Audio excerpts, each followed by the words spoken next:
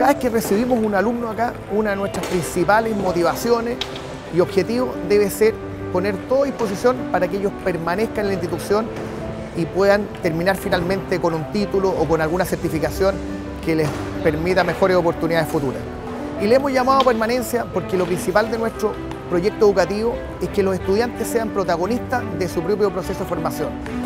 El plan de permanencia es fundamental que se entienda que es un plan a nivel institucional y que incorpora a todos los estamentos de la institución.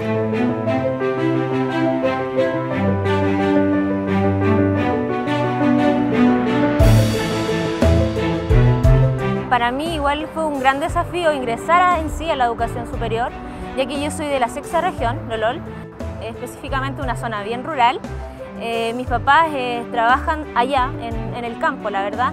Eh, entonces, soy la primera generación de mi familia que estudia.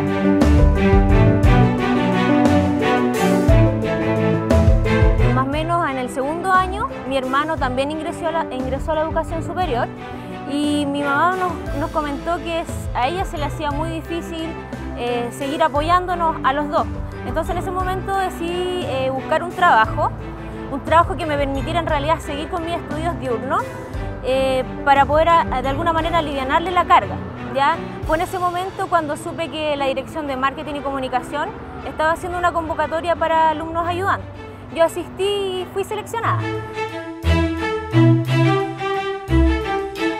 cuando te ves el perfil de un alumno que académicamente es bueno, que se acerca a tu subdirección buscando una oportunidad, porque si no, a un año y medio de titularse no va a poder seguir, como que uno no la piensa dos veces más, o sea, es simplemente abrir las puertas y decirle, vale, empieza mañana, porque mi aporte es decirte, trabaja conmigo.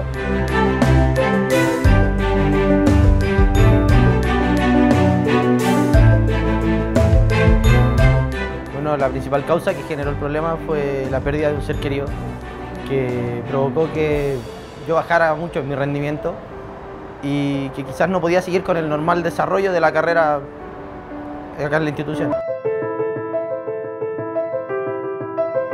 Por casualidad de la vida yo encontré un folleto en donde decía que tenían psicólogo acá en la sede. Tomé una hora, me acerqué a ellos y me dieron mucho apoyo y me ayudaron mucho a seguir adelante. Para mí personalmente considero que, la oportunidad de poder como ayudar a, los alumnos a, mantenerse estudiando, que yo creo que es una oportunidad inmensa y, con, el, con, el, vigor que, eso implica no solamente de ellos, sino de sus familias también. En el fondo es tratar de, de ampliar redes de los alumnos, no solamente de nosotros, sino que empoderar a los alumnos que se mantengan estudiando y que puedan cumplir sus sueños, básicamente.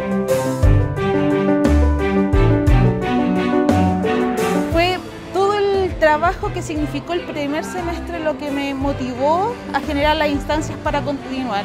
Porque Joana, que es la coordinadora de mi carrera, eh, ha sido vital para desarrollar instancias muy fuertes en el y generar relaciones más directas con mis compañeros. O sea, no podía yo desertar llevando eso, o sea, tenía ya la carga, la responsabilidad de continuar con este trabajo y no quería porque Doc no, no lo escogí al azar.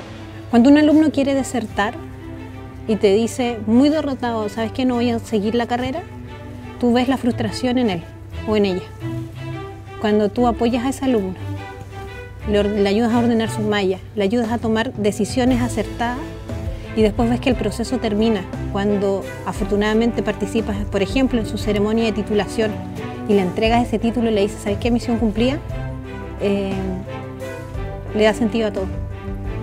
Para mí significa mucho, creo que me siento muy identificado ahora con la institución, porque ellos se la juegan por mí y yo me la juego por ellos.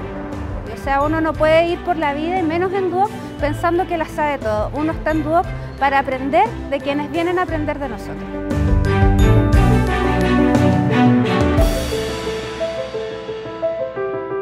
Definitiva, lo que más ayuda a mejorar el tema de la permanencia es que todos los colaboradores se comprometan con este objetivo, todos trabajen y lo tengan presente todos los días. El trabajo que pongamos todos los días, un mejor servicio, una mejor atención, eh, entender sobre todo y conocer en profundidad cuáles son las necesidades de nuestros estudiantes, va a ser la mejor receta para mejorar la permanencia. Y para eso es fundamental que nosotros vengamos a trabajar con alegría, que le pongamos cariño a lo que hacemos, que estemos comprometidos con el proyecto educativo, porque sin lugar a dudas, si le ponemos pasión a lo que hacemos, todo eso va a ayudar a mejorar la permanencia de nuestros estudiantes.